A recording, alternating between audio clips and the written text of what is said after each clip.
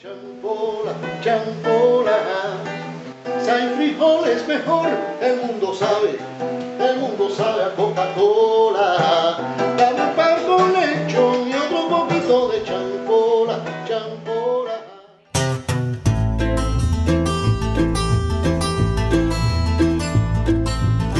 Welcome to Tales, Tunes, and Tomfoolery starring Jerry Springer, along with Jene Galvin and me. I'm Megan Hils.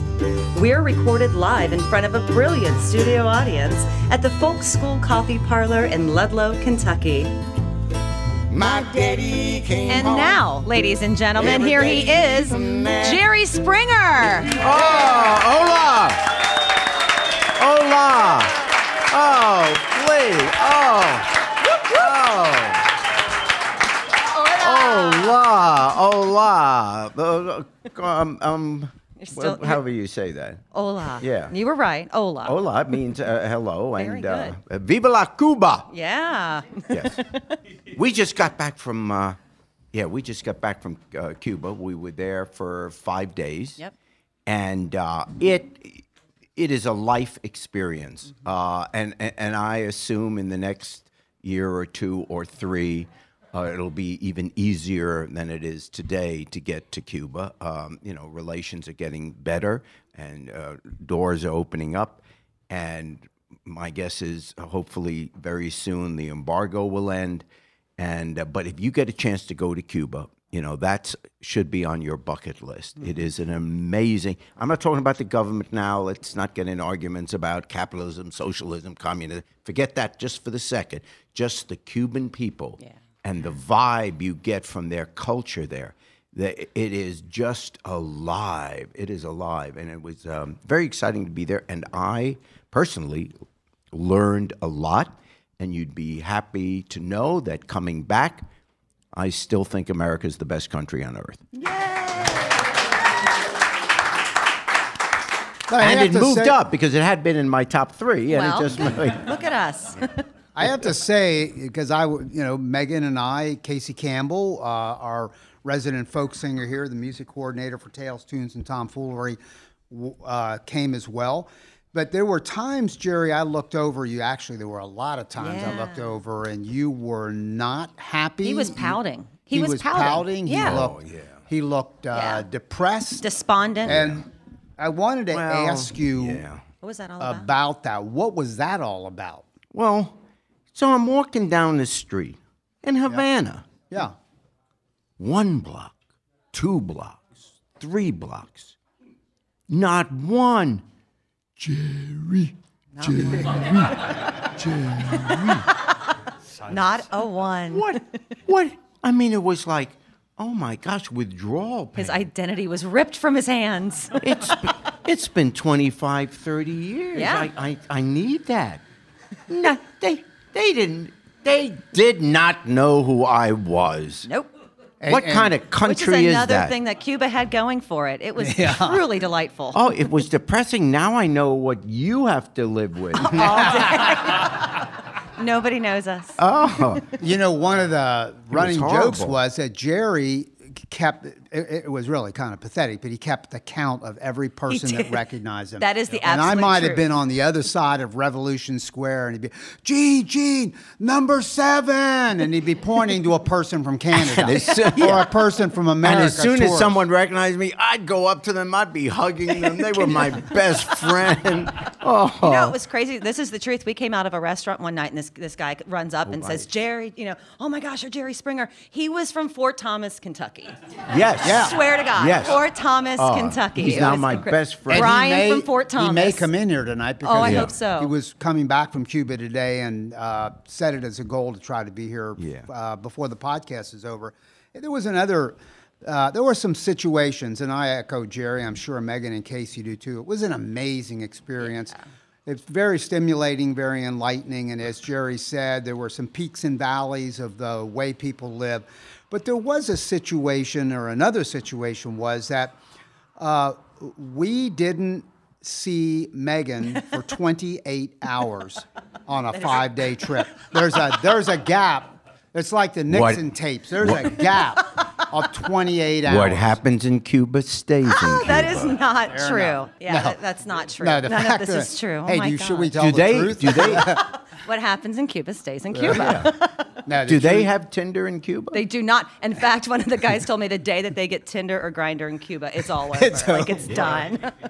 Hey, No. by the way, well, in fact, let's uh, pull the curtain back a little bit. But uh, Megan and Casey, Jerry and I are like older, and Megan and Casey are like younger. And so Ish. I got up. Now this is the truth. I got up in our B and B. Jerry, trust me, did not stay in a B and B. No. Is that fair enough? Or we can we say that, Jerry? a, a B and B. he was in a five star. And by the way, what Oh, is the the, hotel the- what's I the gotta show you Saratoga like? Pictures. The It's unbelievable. It's a it's a five star hotel. It- beautiful. It, was unbelievable. by anybody's standards. By right? anybody's standards. I mean, this could have been, uh, you know, any place in America, any place in Italy, France. I mean, it was a beautiful, beautiful hotel. And I could look out the window and see the little people. Yeah. And there were a lot of The them. little. Oh. So I get up, uh, my wife and I and uh, Megan, Casey were in this B and B that was about maybe 15, 20 minute walk to Yeah, yeah, the Saratoga, wasn't but a great walk Yeah. down the back streets of Havana. And I get up, kind of take a leak, you know, it's probably four in the morning, and I hear singing. Yeah. And I go, dude, that's Casey. Yeah, it was. Uh, There's a party going on, and I went out into this sort of common area, this B and B, which is up on the second floor, and Casey with the two owners of the B and B, who are right, Casey. Yeah. Here's- Here's Casey Campbell, by the He way, made it back. Yeah. and that was Alberto. that was uh, Alberto and Jorge. Yeah. Right, and Our so the four of them friends. are drinking are drinking rum, Rum. and Yep. playing music, and so eventually, about five in the morning, they go to their rooms, respective rooms, and sleeping in them. I said to Bonnie in the morning, I said, "Let- let's take bets on whether they even show up. Because by the way, when this bus, a beautiful short tourist bus, government run and owned, when it leaves, it's leaving because we're going off to the homes of folk singers around Havana to meet with them, to socialize with them, and to hear music. Casey shows, Megan didn't. End of story. I let her. I don't know And what we happened. did not see her for the rest of the day. for the rest Well, of the trip. actually, you No, saw me at dinner. You saw me at dinner. Oh, yeah, you show up for dinner. Oh dear. Casey became. What did happen? I. What happens in If you Cuba had a stays in- really, really good time, smile. Knock it. Wow. Oh. Knock it off. Jerry, tell about Yes. the uh, time that we were having dinner with, and we're going to just uh, describe this person uh, in a kind of a hazy fashion. But he was a retired, but a I think he was retired, but a high-ranking, really high-ranking government official from Cuba. And tell them your lovely wife Mickey. Gracious as she is, takes the bowl of vegetables. The table was full of food and in a privately owned restaurant in uh, Cuba, owned by a family, amazing place, handed it to Jerry and said, "Would you like to offer uh, offer the blank, his title, some vegetables?" And it was what a did you- high, high title. and what did you say? Well, I said, hey, you want some? Yes, he did. I mean, come on. Mickey about died. She looked at me, rolled her eyes, and just like hid her head. She And could he not said- believe it. He said, "Yeah." He said, "Yeah." He spoke, spoke yeah. perfect English. Yeah, because in, in, in that country, you're all equal. Notice I said you. Yes. You all are equal. You all are No, but it was, and we'll talk a little more about that later. But uh, this gentleman who, and the ar- agreement to have dinner with him was that we would not divulge who he was, et cetera. But uh, it is fair to say he was really, really high up. yeah, it was an important guy. And and it, yeah, it was, and it was like a bonus. Did not know that this would happen. yeah, Right. that happened. And I'll never forget it. For two hours, I'm I'm sitting with this guy, and and, and, and we can say because there were thousands, so it won't identify him, Mm-hmm. but there were. Uh, he was a revolutionary, and he was with Castro when he know, came into when he city. came in on January first, January second, nineteen fifty nine, with the revolution. So he was there through it all. and said that he didn't sleep when they came down For from the eight days. mountains for eight days, and Yeah. said the city was uh, jubilant. Yeah. And that was the beginning of what they did. Let's touch on Casey for a 2nd Casey Campbell. Who was the star in Cuba? He was Yes. the He star was of the Cuba. star in Cuba. Yeah, I am Casey Campbell so now sick of has people going agents in Cuba. Casey, Yeah. Casey, No, it's- Casey. you think he's exaggerating? They really like they fell He in was love with great. him. It was great. And and by the way, there are th- this is not a joke. There are several people. We met some amazing people, and a lot of them, most of them, like young Cubans, uh, and two of them are working out what we hope will actually happen. We believe it will, where Casey will be invited back to Cuba. He's already been asked by one of the Nueva Trova singers, Trova's Troubadour, New Troubadours. They're folk singers. They're the counterpart of Joan Baez, Bob Dylan, Pete Seeger, and others. They're both young and old. And uh, in a minute, I'm going to ask you to define Nueva Trova because you do it so well and, and accurately based on everything we were told. Casey, after a dinner where one of those Nueva Trova singers was there. She's an icon in the country. She has her own TV show. It's all about folk singers, you know, unplugged guitar, strumming singers. And so we go to this Pena, which is like a Cuban hootenanny in a little bar. And there's a listening room, bigger than this room, but not a whole lot bigger. Mm-hmm. Had a bunch of people in it. She sings a couple songs because when she comes in unannounced, her like, uh, they and her name it. is Marta Cam- Campos. And they call her forward. She sings a couple songs. They speak just enough Spanish to understand the introduction, where she's saying, I have with me from the United States my brother, Casey Campbell. She calls him forward. Casey does two songs. When he finishes the second song, a Roy Orbison song, the one he started, I thought, I know how this ends because it's what's the name of that song? Crying. crying and it ends oh, way it's like bolero it ends way up there powerful. They go crazy and they say encore. Mm-hmm. He sings and we're going to i'm going to ask him to do just a little clip of this song that he sang but i will tell you that marta campos and another nueva trova singer who performed earlier that evening we Ray saw Fernandez. Yeah, Ray Fernandez. ray fernandez they jumped to the microphone did. and did backup. and sang backup, and he Yeah. was singing cool. it in English because it's an old Yeah. anti-war song called "Down by the Riverside." Play, do just a bit of it, Casey, and the audience to get a that first sense. little verse for it, all right? okay. All right.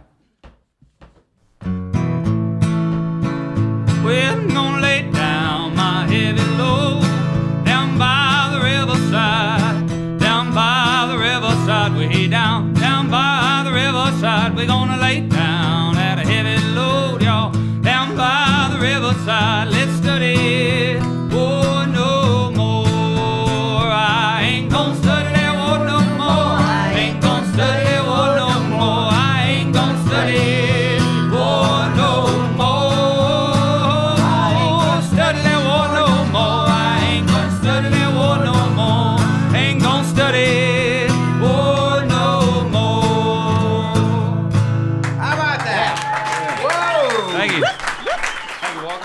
No one in that audience in that Pena spoke English except us, Right. and they Yeah. went crazy. Yep. It was so surreal. here's what happened: the four days after that. Dude would be walking down the street and people were stopping him. Uh-huh. Casey. Oh, I Casey. Every time I it. would, we were all the four of us were usually together, and if I was I was walking one day by myself, and the one guy across the street goes, "Where's the guy with the beard and the guitar?" For not And we where's said- Sherry Springer? And we said Castro? Right. No, no, On, no. well, on the- my last day, you know, actually, I can touch on both those points. On my last day, I met a guy walking. I just went and got lost in Havana for two hours, and you know, to see some things I hadn't seen. Not 26, Megan. Not. Not 26, but two. And uh, but I'm walking down, and a gentleman does. I hear from behind me.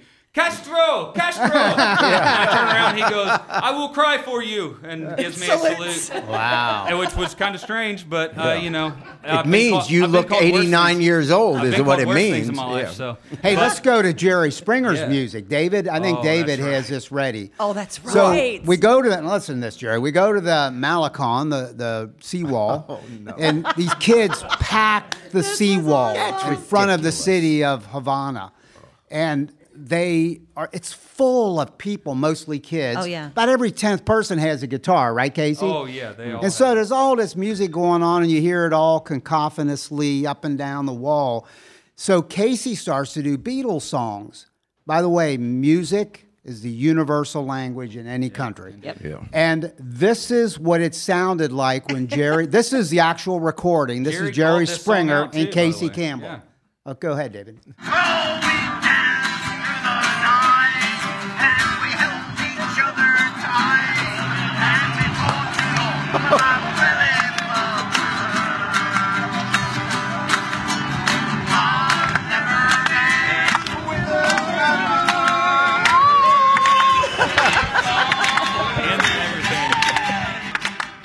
All right. And then all the Cubans there raised their hands and said, "We give up." Jerry was a hit. That- He was. that is Oh, yeah. Oh, what a Oh, it was What wonderful. It was so great to see Jerry be able to cut loose because as much as Yeah. you kid about not being seen, which you weren't, and I mean, I made, I kind of like to think I made you famous in Cuba. We'll talk about that. Yeah, yeah. You may you may owe no. him something. no, he Jerry was you. It was a wonderful to see you in front of you know a group of people that none of which we could any of us could really communicate with Right. very Yeah. well. All of us communicating through smiles and laughter and handshakes and music, and it Yep. was Yeah. it, It was It really really cool. worked. It was a, per- a perfect trip. I'm going to ask Jerry in, in just a second. Uh, really bore down because, as we all know, he's he's a great analyst, and he uh, he just sees some things that I don't always see for sure. And uh, before we do that, I want to touch on just a couple of other things, if I could. Uh, and one of them is this moment, since we've been speaking of the music, and this was uh, at the home of, and we visited folk singers, four or five of them, six of them, in homes. And this was a cultural exchange. That's why Casey Campbell went with us, and we hit the ball out of the park. Yeah. I mean, they felt and saw things, and uh, vice versa. In the home of uh, Vincente uh, Fe- Feliu, F E L I U, Feliu. And Vincente goes back to the time of the revolution as well, and he's a very popular folk singer, uh, Nueva Trova singer. And I believe it's when we did Irene, Goodnight Irene. Correct. Because we were doing songs, just, you know, some uh, doing songs. And one of them was uh, Goodnight Irene. So he had his guitar, Casey had his. We were in the small section of his home that was sort of his man space. And when we got done, you remember he said, no governments can stop this, what we just did Yeah. and that's the point of the connection of music. It is the universal language. And didn't we have great tour guides, by the Oh way? my gosh, Sandy and, Ho- and They were great. They both, you know, they love Cuba. And one of them is native born, loves Cuba, would never leave for anything. I mean, visit other countries, of course. He's a socialist, right? Yes. And just loves Cuba, but would even love Cuba if the if the form of government changed. In other words, Yep. their love of their country goes beyond politics. They're just so proud to be Cuban, which gets to the here's what I learned that I didn't get until he said it.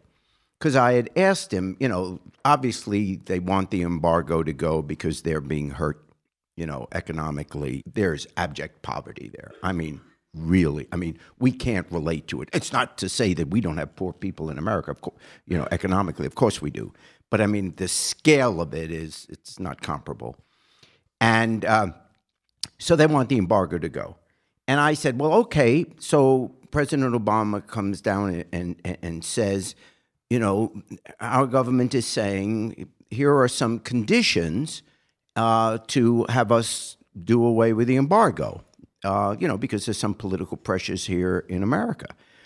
And these are some conditions. So I asked him, I said, is there, if you saw this list of conditions, what, what is the one thing where you say, no, we can't do that?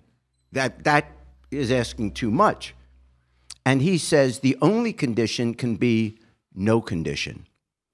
In other words, what they're saying is, and I said, but, you know, what about, gee, let everybody be free, let everybody pursue what, to the best of their abilities, whatever they want to do. Just like you're an artist, you you want to pursue your music. You don't want to, someone to tell you this is exactly how you have to write your song or sing your song. How, you know, why not have people be free? He says, we do want freedom. And I looked at him and I said, oh. He says, but we define freedom, the Cubans, as not having another country tell them what to do.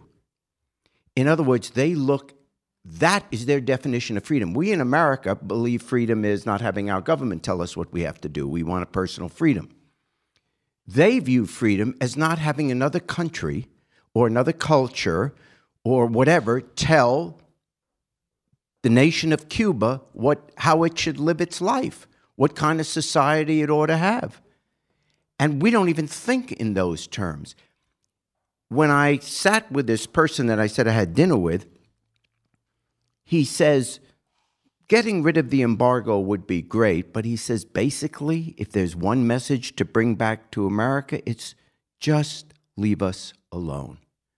Because throughout their history, they have been dominated by some major power. As I said, Spain, and then after the Spanish American War, they get, you know, they get their independence, but then it's the United States, and it's our support of Batista, who was a horrible dictator. You know, I'm not saying people should say rah rah Castro at all, but clearly it's pretty hard to argue that G. Batista was this good guy. He was responsible for thousands and thousands of killings, and he was an you know an absolute dictator. But he was our dictator in a sense. You know, he he he backed some of the businesses. When I say backed, he protected some of the businesses that we had down there. So they just, and then after us, it was the Soviet Union. Now, we as Americans in those of us who are alive today or of uh, you know adult age can say that we can justify because there was a cold war going on that was real and so the the worry about cuba going communist was very real because we were in a superpower confrontation with the Soviet Union. And that wasn't just fiction. The fact of the matter is, the Soviet Union really was expanding and taking over countries against their will after World War II. The Soviet Union really did go into Poland, really did go into Czechoslovakia, really did go into Hungary. So there's no, well, we're a big superpower too. No comparison between what the Soviets did and, you know, what our worries were here. So when you, for example, you had the Cuban Missile Crisis, and we said we can't have missiles nine, 90 miles from our shore, then what the people I talked with says, well, you know, the Soviet Union was saying, hey, wait a second, you've, you have our country surrounded by missiles, and you have those missiles now in Turkey on their border, on the Soviet border. And that's when, you know, I said to him, those are incomparable events because the reason those missiles were there because Soviet Union was taking over Europe. Now, here's where we are today. Even though we had justifications, I would argue, for taking a very strong stand against Castro and Cuba during the Cold War and protecting America 90 miles from its shore, from our shore, communism is done. The walls came down. In 1989, that's it. Communism has failed. It has failed, period. There is no viable threat that Americans have from Cuba. Do we honestly think, I don't care how right wing you are, do you honestly think Cuba's going to attack America? Cuba's going to take over America? Do you shut your doors at night? Uh oh, here come the Cubans. In fact, I would argue that, and this is the discussion I had with this gentleman, there are things that if we had a decent relationship with Cuba, we as Americans could really benefit from. For example, how about the influx of drugs in America? Here's something Cuba doesn't have a drug problem.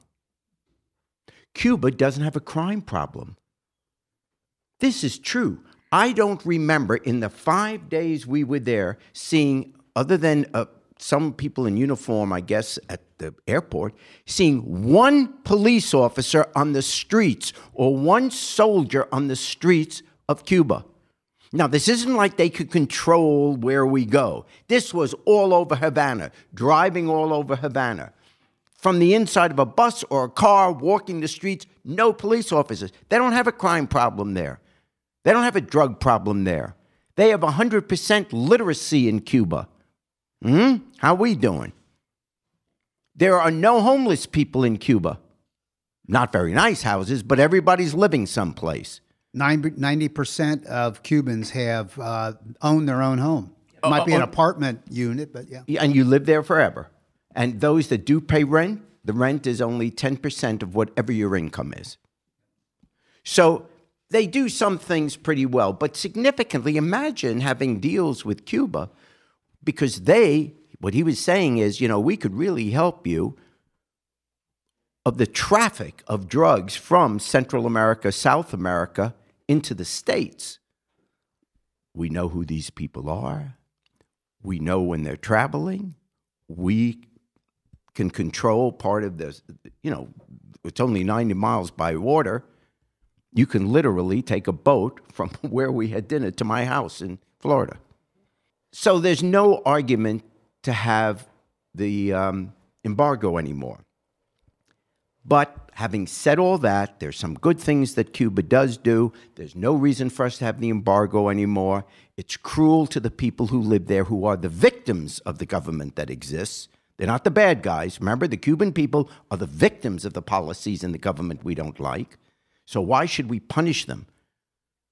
So let's get rid of the embargo.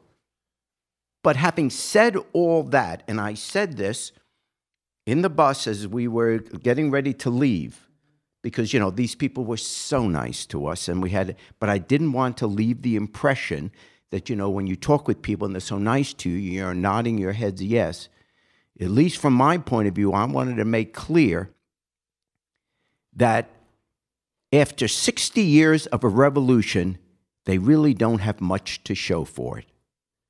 When you look at that, when you look at, at what's going on in Cuba for 60 years of some uh, such abject poverty, their system, I would argue, does not work. Communism does not work. When the wall came down in 89, you did not see West Germans flooding into East Germany, East Berlin. No one's rushing to get into a communist country. Everybody's trying to come over here. Communism does not work. And even the argument that they have for drop that we're in trouble because you guys have an embargo, what I say back to them is I said, wait a second. If communism is supposed to work, how come it can only survive if capitalists invent, invest in it? How come you need our help? How come you need our trade? How come you need our investment if communism is self sustaining? These aren't bad people. They just have a philosophy that does not work. Now, those of us who are liberal Democrats would argue that just like here in America, we have some degree of socialism. We have Medicare. Okay, there's the obvious socialism we have. So, some services that human beings need should be provided by the government and should be the consequences of everybody chipping in. We call it taxes. So, it has to be a balance. There has to be some socialism and some capitalism. And virtually every society in the world now, every country in the world, possible exception North Korea, is now a combination of some degree of capitalism, even China, and some degree of socialism. Those of us in the Western world tend to be more capitalistic. So we can argue what the percentages should be. I would argue, in the perfect society, my point of view, we should have a capitalist society with the provision that four things ought to be guaranteed and everything else should be a competitive free enterprise system. By virtue of being a human being, you should be entitled to health care, food, education, and housing. After those four things of survival, let's get on with the race of competition. Because if you don't have that competition, everyone loses their incentive to try to, you know, if it's not going to make a difference in your life whether you do a good job or a bad job, After a while, you know, on a bad day, you're not going to feel the incentive to go in and do a good job. Why? What's the difference? Not trying to be political. We were walking through some streets, and one of our wives says, ah, just, it looks tired. There are parts of the country that just, streets that just look tired. It's old, it's depressed, there's no, you know, what's the hope and what's the incentive? Wow, if I really get, I got this great idea. For example, you're allowed to, you can turn your, they've liberalized a little bit. So you can have a home and turn your home into a restaurant, but you're only allowed to have 50 seats as a restaurant, and you're not allowed to own more than one restaurant. So you can't create a chain. You know, so at some point, stop being ambitious. Well, we got our 50 seats, that's it. Now, that's just with restaurants. What about all these other fields? It's almost like you let people be creative with their music. Why don't you let people be creative in their everyday lives? What's wrong with ambition? What's wrong with trying to be better, trying to create things that you do? All these communist societies fail at that level. And most of the world sees it now. And I think in a few years, whether it's after the Castros are gone, uh, but I think Cuba's moving in that direction. So that's the end of it. Do away with the embargo, but don't for one second, because you can really get to love the Cuban people and get all caught up in their in the passion of their art and their patriotism and all that and romance and a revolution. I would argue, don't think for a second that that's a better way of life. We have a lot of things wrong. They're much better on race than we are, a thousand times better on race than we are. We got a lot of problems here, but there's nothing inherent in the system which says we can't solve these problems. There's nothing inherent in our system which says we have to treat blacks or Muslims or uh, Hispanics badly or differently or discriminate. So keep our arguments separate. I think it's perfectly okay to have a free enterprise system. I think that's worth defending, worth fighting for, etc.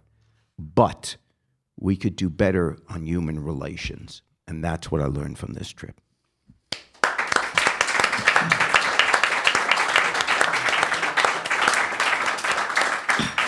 And, and also, maybe, I don't like being in a country where I'm not known. one of my favorite takeaways, and our guide Jesus said it. He, he and he told me he said it was his favorite quote from the entire trip. Was I asked Jerry because some uh, someone who did recognize him came over and got a picture taken, and I said, Jerry, does it ever get to you that people come up and you know will interrupt you during a, a drink or whatever and, and want a picture? And and Jerry said, I live in constant fear of not being known. and Jesus, Jesus just lost it. He yeah. thought that was the funniest I, thing. It, but you said it so earnestly. That was like oh, I live in. you don't know the fear. tightness in my chest. oh, it's not healthy. And maybe surprisingly or unsurprisingly, I, uh, Jene Galvin, was the one who was throughout the trip uh, the most pro-capitalism. The mo- oh, the you, pro- we you about sold Jene. out. Look at that. He's sold out. What what the listeners? The TV cameras are gone yes. for our listeners. Yeah, I noticed that. TV on. people. Here, I'm worried that someone will take a picture of me next to you, and yeah, I'll I be we, we and I'll be viewed close. as a fellow traveler. real close to. Hey, by the way, let's uh, get a little more specific about uh, Jesus uh, Noguera, and, and let me tell you who he is. And this is an interesting wrinkle about Cubic, is another insight. So he was a member of the Young Communist League from a little child, grade school age, through the age of 30. At the age of 30, all Cubans decide who were members of the Young Communist League whether they're going to join the Communist Party and be in that party for the rest of their lives. And uh, Jesus said at age 30, and his father, who after the revolution could not read one word as an adult, and he learned to read, he became a ranking government official. And Jesus was part of the Young Communist League, then said, uh, No, thank you, but I won't be part of the party. Uh, but he's still very much a socialist. Would very you agree? Very, very committed, patriotic yep. Cuban, and, and a socialist. And he said he was so ecstatic when I told him. I asked him. I said, "Is it okay if we go back to the U.S. and give your name and contact information and urge people to contact you via email to be their guide?" He's a professional translator and tour guide. He was amazing. Would you guys oh, agree? Oh, he was. Yeah, he was He was smart. Absolutely great. The He was- connections he Yep. had. knew the- oh. everybody. Yeah. He solved all the problems. So I'm going to do that now. And there's one other thing we're going to do with Jesus, but let me first give his contact information. I'm going to make it easy because I have his email address in front of me. I'm going to give his name again Jesus Noguera Ravelo. And if you email me, his email's too long and it's not what we're familiar with. If you email me at gene at jerryspringer.com, gene at jerryspringer.com, Spell but Jene. Jene is with a J, so instead of G E N E, it's J E N E. So J E N E at jerryspringer.com. I will route all of you to him. He will be ecstatic. If you're planning a trip to Cuba, he would be anxious to be your tour guide. Mm-hmm. Furthermore, we asked him and he has agreed to be part of the Jerry Springer podcast in the future. Periodically, we will have an element of the podcast called Ask the Cuban Socialist. Yes. And what you'll be able to do This is true. This is is all true. send emails to gene at jerryspringer.com and then we will uh, read we'll get him on the phone Yep. as a cell phone Yes. and it, i just i could call him right now just dial straight through we'll put him on the air and then we'll do like a five ten minute segment where you get to ask the cuban socialist a question that we're not thinking of Yeah, and he was at one point a, a, communist, and, and what I said because his name's Jesus, uh, uh, Jesus, J E S U. I said, how do you, how can you believe in communism when they don't believe in you? Oh. yeah that's right. That's cute. no you know it That's is cute. a, You it's know, it's- actually a catholic country though not practice are. they said No, a they- whole lot yeah, no, they But there are Jewish synagogues, and our, one of our mutual friends, uh, Louis uh, Beck, I think we can say, wouldn't mind, uh, went to Cuba with a, a Jewish group, a group of people from I think probably one synagogue, if Yes. not more, and they went to synagogues in Cuba. And they, Lewis told me that they even said to him there was a time when Castro showed up and they chastised him for not coming around much. And this uh, rabbi said for a time, months, Castro came regularly as a commitment to, you know, I don't want to forget you people any more than anybody else. And four popes, didn't they say four popes had Yeah, been to Cuba? Benedict, yeah, So it's not an Oh, it's a Catholic anti, country. uh, I know. necessarily religious country. You know, it's a lot of things, but it's probably not that. Here's something that's really interesting El Paquete. Oh, that's right. Oh, right. One of the things right. that happened on this trip was sort of spontaneous. We knew nothing of this. We knew nothing of the meeting. In fact, Jerry made the meeting with the ranking government official by saying to the Center for Cuban Studies set this up for us. They're in the United States or in New York City in Manhattan. And they hooked us up with Jesus. Sandy Levinson. And Sandy, Sandy Levinson Levinson. was with us most of the time, of Yep. all the time we She were there. fantastic. Yes. She knows everybody. Literally she took us places that were amazing. She learned how to cut sugarcane as a member of the Venceremos Brigade back in the 70s, where some Americans, very controversial, I'm going to admit, went to Cuba illegally and uh, went into the sugarcane fields and cut cane. Venceremos Brigade. Fidel Castro taught her how to cut sugarcane. She's like that Yeah. uh, that level. savvy and um she's just very skilled and sort of finding her way around. So she told us about, maybe Jesus told us about El Paquete. No, it was Jose. Jose, another member of our the team of people that helped us. It's translated the packet. The packet. Yep. Megan, tell what the packet is and So essentially, I mean, obviously they have difficulty getting transmissions from the United States or any other country. So what they do is somebody, and they're very open with piracy. They, they encourage piracy, in fact. So what they do is they'll go into Miami or wherever's closest, and somebody will download hundreds of episodes of television, movies, everything like that. They then bring it back to Cuba to their movies and songs. Movies Yeah. and songs, television shows, everything. They then bring it back to their neighborhoods and they pass it around, and everyone borrows it and pays a dollar for it for an extended amount of time. And then they give it back, and this goes on and on and on. So it was just a way to kind of infiltrate. So Jerry, of course, being the humble man that he is, says, Well, am I on there? Am I on El Paquete? it turns out he was not. Because they don't know how to translate bleep. They don't. There's no translation. Otherwise, my Otherwise, show would would my show would clearly be on. But it was that. So yeah, that was you that have was. to, yeah, well, bleep with this, you know, a, a Spanish accent. I don't know how that would even go. Try it. He Bleepa, bleepa. Bleepe. Bleepe. And so Jerry actually did an interview. They got all That's right. excited. They, they didn't know who Jerry was. The El Oh, keep, keep no, bringing that up. no, but check this out. No one knew who The El. Paquete people didn't know who Jerry was, but they knew about Christine, Christina. Christina. Tell She- about Christina. Christina uh, has a very similar talk show, but in Spanish. And she does it out of Miami. And I guess she started a couple of years after we did. And it's very good. I mean, it's a very successful show.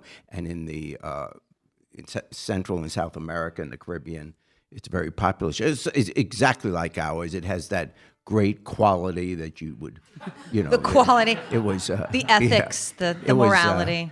it was high grade television. And she has that show. So we could do it with subtitles, There but again, it would just be. Bleep. Yeah. So the El Paquete people asked if they could meet with Jerry, which they did in the lobby mezzanine level of the Saratoga. Yep. And they interviewed him for their digital magazine, relating it to Christina. And they are now going to take the, the probably, well, probably it's going to be on the El Paquete's digital magazine to now learn about Jerry. They also interviewed Casey Campbell, and Casey, I think, gave them or you're sending them some of your material, Yep, right? correct. Yeah, they're uh, the uh, young woman we talked to, Maria Carla. She said she would, uh, or and Jose said as well that they would get the music section uh, in, uh, or, or my music into the music section of the. And by the So now way, it's a race. To Cuba aside for a moment, your CD, Casey, Yeah. and I'm telling you, f- figure it out. Call up, email, but people have to listen to this CD. Oh, thank you very much. Uh, we listened to it Yep. at home last night. Uh, Mickey and I listened to it, and honestly, uh, with tears in our eyes. I mean, it is it is that beautiful. You think I'm just exaggerating because he's it is beautiful. I mean, the ballads are it is the writing because you write these songs, and then the music of it. It's uh, there's no reason you shouldn't be a huge star. I mean, almost as big as me. You could be. Well, you can I ask you a question, Jerry? and Not I'm- own your own I'm jet sitting here star, but trying to think how to ask this. There's a guy that we met with, one of the Nueva Trova singers. Tell what Nu- Nueva Trova is, Jerry, because you have a n- nice, uh, succinct way of explaining. It, It- means new troubadours, but what are the, Yeah. what's the essence of it's their the music? music. Their music is a two pronged. It's love songs, but it's two pronged.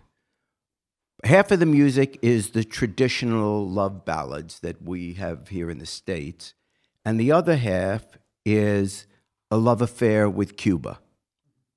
And uh, and they sing about it as you know, if we sing uh, the, during the seventh inning, "America the Beautiful" or something like that, but it, it, there's the music is so poetic, and there were a number of people writing this music and performing it. So in 1972, they got together because now the revolution was clearly in place. It wasn't the early days where no one knew exactly how far they could go, what would happen. So there was a little more sense of stability these musicians uh, got together and started this movement. They've always had troubadour music, folk music, but now this was the new folk music. And it would reflect not just the revolution, but generally their love of Cuba, as well as romantic songs. And we met with the people that started this movement, the people that are popular in the movement today. And it was really. I mean, they would invite us into their homes and we would sit around and have the Cuban coffee is unbelievable. Starbucks will not make it over there because oh, it's so good. oh, uh, not because I don't love Starbucks, but because they just love their coffee, and it is. It's amazing. Um, and, and cigars, rum, and cigars being smoked everywhere. cigars every place, Rum. and, and rum. And so you sit in their homes, and they bring their family in. You know the wine. Rum at eleven thirty in the morning. In the by way. morning. Oh, yes. so frankly, I don't remember what they said, but it was yeah, and and and you were they, really game with that too. Good for you. Yeah. yeah. and they uh, they just talk about their passion and you know they'd be talking and then they start singing a song and stuff like that. They'd answer our questions. They didn't dodge any question. I had to, which is rare for me, I had to be a filter on not getting too, on myself, on not getting too argumentative because, you know, we always say, oh, if I could only get one of them, I'd tell them, how crazy are you? What are you doing? What are you doing? So you, you know, you, you you certainly, you're in someone else's home. You want to be polite. You want to really learn from them without being too argumentative. And um, it was fascinating. I, I, you know, you, at my age, you don't get too many really new experiences. Everything is just a different style of what you've done your whole life. But this really, really was new. And with joking aside, for me, not being known really removed all. There was just a blatant honesty because if you are known, any meeting you have with someone, any conversation you have is tilted somewhat because they come with a preconceived notion of who you are and what you should. You know, how many times have we talked about someone ah, and then you suddenly meet them in person? Oh, could I have a picture? Could I have an autograph? but as soon as you walk away, you say, "That son of a bitch." Whatever. yeah. Hey, let me mention the names and and send a shout out all the way to Cuba to the some other folk singers we met with whom we haven't mentioned. Alberto Faya, Augusto Blanca, Angel Quintero, Heidi Igualada. And by the way, Alberto Faya, we were meeting with, remember, we uh, were with him at a dinner in the same restaurant that uh, President Barack Obama was in about three weeks before on his visit to Cuba. We Again, tipped- a San restaurant Cristobal. in a home. I left a bigger tip. You probably did. And get this, Alberto Faya tells because if we look at these guys and if they look like they were old enough to have been in the revolution, we started asking questions. And he explained to us that he was at Playa Giron, Which we call the Bay of Pigs. we call the Bay of Pigs. Uh, they went from a, a sort of the revolutionary square after some speeches were given. It was actually when Fidel Castro announced the socialist revolution. That coincided with when bombs were being dropped on airports in Cuba with the invasion of what we call the Bay of Pigs. So Alberto Faya, one of their iconic folk singers, uh, jumped probably in a jeep with other guys. He told us he was part of the voluntary militia. They went to Playa Giron, and he was part of 60 guys, he estimated, who surrounded Fidel and protected him during that moment. Now, I suppose if a bomb would have been dropped, they all would have been dead, but they that didn't happen, and they were probably kind of celebrated heroes for a period of time. That that's how they felt about the revolution, about Fidel, and again. All can judge this various ways, but there's a lot of passion in Cuba for mm-hmm. all of that. And that's not too long ago, 1959. And no, we didn't see patri- we didn't see propaganda banners hanging, but we did see a lot of statues and monuments to their heroes. Yep. Che Guevara, obviously prominent among them, uh, Fidel, etc. So uh, let's say thank you to Cuba for a great experience for And us. If I may, real quick, Jene, I would like to personally say thank you to Jerry and thank you to you and thank you guys for putting this together because this was, and I think Casey can echo it, this was just such a life changing, wonderful experience for us. So thank you, Jerry. Thank you, Jerry. We, we all agree on that. Uh, we have a, I found the other day, because these guys are always on me about the business plan for the Jerry Springer podcast, and I found What it the other business day. plan? I was shocked at how You send me a bill and say this is. I, I was shocked to see how small the business plan is on a piece of paper. And basically, when I read it, and I had written it, I'd forgotten it says Jerry gives Jene money and Jene spends it. Repeat. That's, the business plan. so thank you to Jerry Springer. Let's use that. So now that I think about it, I'm not much of a capitalist at all. I'm not making any Oh, money. you're- at this. You know, Wait, I will this say is a this too. communist It is- enterprise. you know, you're in a different world when Jerry Springer is the most conservative man in the room. It was very, That's very a good different. point, Megan. Hey, Megan. I couldn't believe it. Right on. Yeah, these guys are going, oh, yeah, man, you guys are right. I'm going, whoa. Back off. Hey, we have with us, and we're very excited about this, the Downhill Strugglers, and they are from New York City, and uh, they're very prominent in our own Nueva Trova movement in America, and uh, they have an album out that's called "Show Me the Way to Go Home," and we're going to ask them to do uh, a song for us. All right, well, we got a tune here, good Kentucky tune called Ladies on a Steamboat.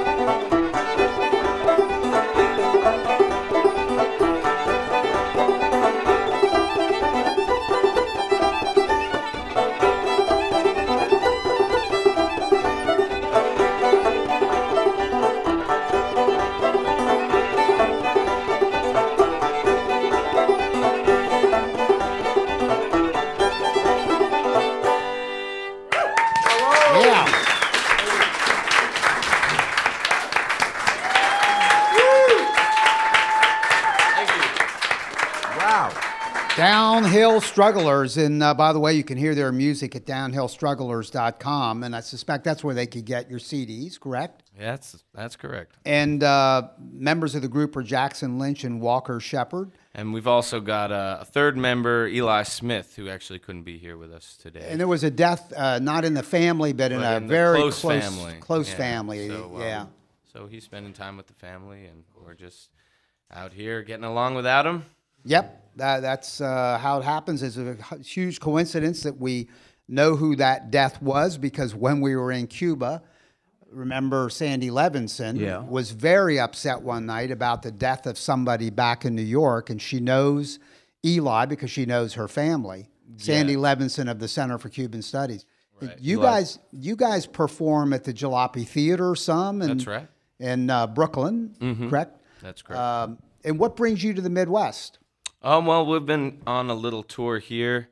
Um, we were we've been out on the road now about three weeks, and we've been down in Atlanta. You running out of laundry?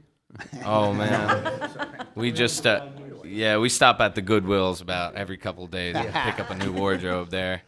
But um, yeah, we've been down in Atlanta. We were playing um, a couple couple of uh, festivals in East Tennessee, playing uh, Louisville the other night, and so Good we're just you. kicking Good around. That- Yeah.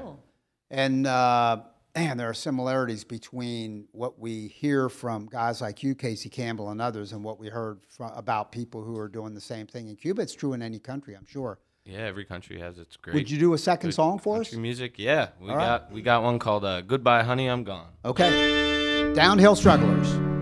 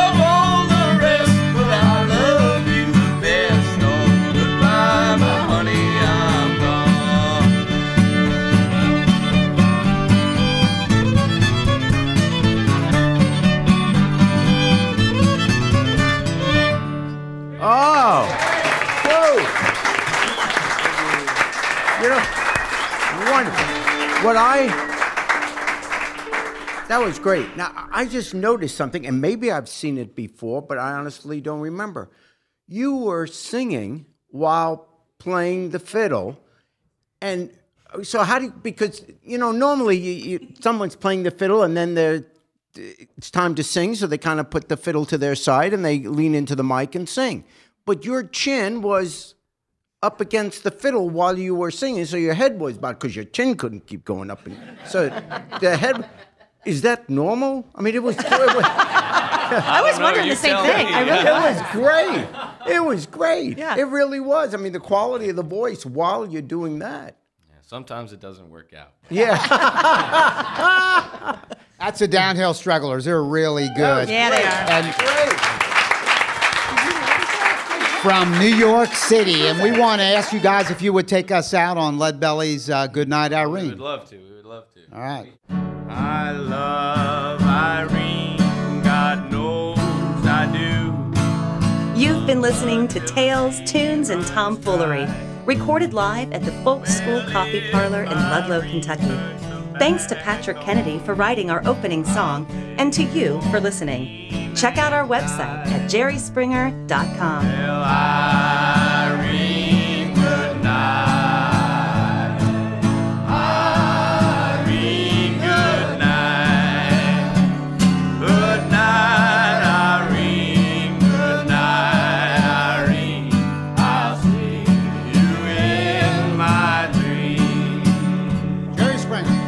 Sometimes I live in the country, and sometimes I live in town. He's got that Cuban sound. Sometimes I take a great notion to jump in the river